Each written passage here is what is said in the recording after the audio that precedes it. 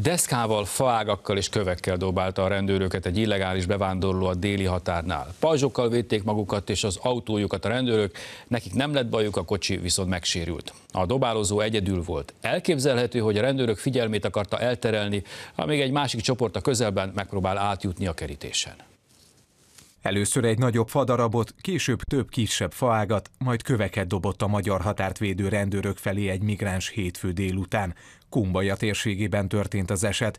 Az egyenruhásoknak pajzsal kellett védeniük magukat és a rendőrautót. Szerencsére személysérülés nem történt, azonban az egyik gépkocsi teteje megrongálódott.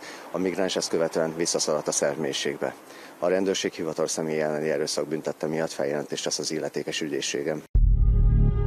Nem ez volt az egyetlen támadás a napokban. Ezt a videót a magyar kormány közösségi oldalán osztották meg. Itt is az látható, hogy az illegális migránsok csoportosan létrával vonulnak a határhoz. Amikor a kerítésen nem tudnak átjutni, megfagyott földdarabokat kezdenek el dobálni. Újabban egyre többször támadják a kerítést csoportosan a migránsok. Erről számolt be az M1 szerbiai tudósítója. Az embercsempészek új taktikát alkalmaznak, nagyobb számú illegális bevándorlók csoportját irányítják egy bizonyos határszakaszra, ők megrohamozzák a kerítést, megpróbálnak átmászni, a magyar rendvédelmi szervek pedig intézkednek. Miközben az intézkedés folyik, kissé távolabb, az embercsempészek segítségével migránsok kisebb csoportja átmegy a magyar határkerítésen, ez már a határ szerb oldalán fekvő rábé. A migránsok az ehhez hasonló határmenti településeken gyülekeznek. Sokszor lakóházakat törnek fel, illegálisan elfoglalják azokat, és elképesztő állapotokat hagynak maguk után. A berendezési tárgyakat vagy elviszik, vagy eltüzelik. Az egyik helyi férfi a híradónak arról beszélt, arra is volt példa, hogy felgyújtották az egyik önkényesen elfoglalt házat. Se ajtó, se ablak nincsen rajta,